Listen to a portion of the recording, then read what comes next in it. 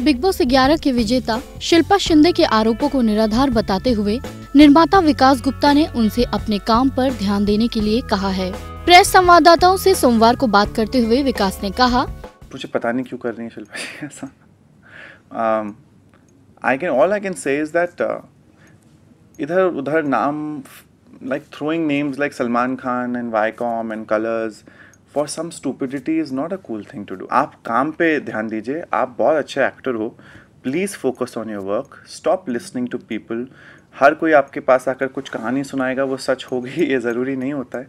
And also Bigg Boss has really wrapped up हमारा वाला big boss ग्यारह season ख़त्म हुए, एक साल हो गया, डेढ़ साल हो गया। तो आई जस्ट फील दैट अगर आप सब लोग जो भी आपके साथ हैं दोनों तीनों लोग, आप सब लोग अगर फोकस करके अपने काम पे ध्यान दोगे तो ये एनर्जी वहाँ जाएगी और ये बेवकूफ़ीपना नहीं आएगा बिकॉज़ अभी जो आप लोग कर रहे हैं हर रोज़ कुछ ना कुछ होता ही रहता है।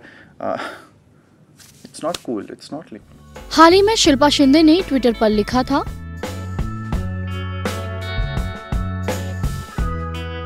इनके साथ ही शिल्पा ने कहा था कि विकास ने सलमान खान को भी यह कहने के लिए प्रभावित किया है कि टीवी शो भाभी जी घर पर है, से उन्हें निकालने पर विकास का हाथ नहीं था। विकास हाल ही में एमटीवी के शो एस ऑफ़ स्पेस पर काम कर रहे हैं। INS report.